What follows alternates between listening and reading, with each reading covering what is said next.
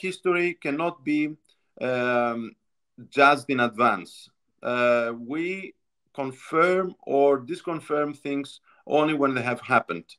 And um, but what we can do is to be taught from history and see how the past has affected the developments of the future. Uh, in this regard, I would answer to Mrs. Bakoyani and to anyone who holds the same view with her that by saying that uh, even in Cyprus, before the uh, invasion, the Turkish invasion, the occupation, and the, um, so to say, the um, illegal occupation of the almost 40% of the island, we had a kind of small strategic Muslim minority of Turkish origin. And the case is pretty much similar as to how the Kosovo story began, uh, with a unilateral uh, de facto uh, recognition.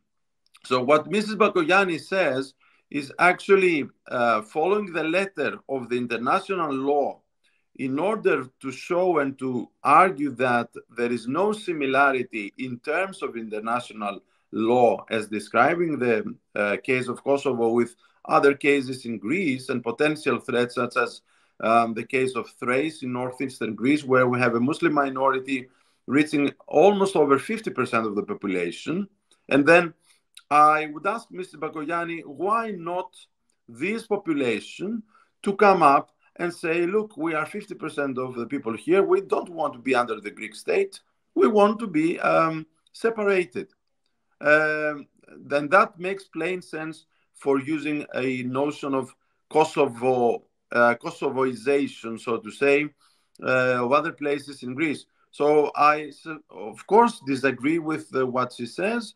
Um, I consider what she says as a way to escape for a very harsh criticism um, unless, of course, she has some other promises, for instance, from Germany or from the US, that anything like that is not going to happen to Greece, then uh, we are uh, responsibly concerned about the possibility of having similarities. Because you know what? Another thing is also related to Mrs. Bakoyani's response that we are accused for having suggested the accession of Kosovo to the EU. No, that's not true uh, we have not suggested the accession of Kosovo.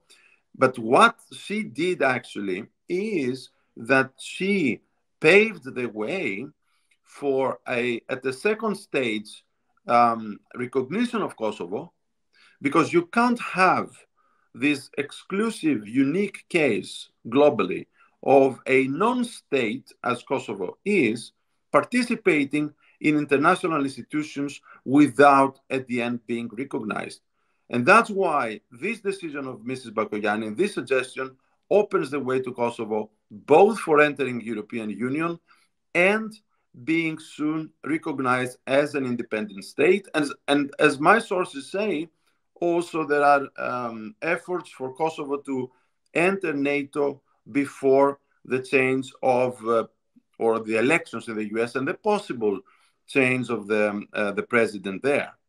So um, it's very naive for one to believe that Mrs. Bakoyani tells the truth and acts for the sake of the truth, and all the more that she acts for the good of the Serbian people of Kosovo.